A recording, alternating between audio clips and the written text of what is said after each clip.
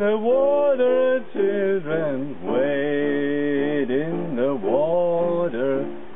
God's gonna trouble the water.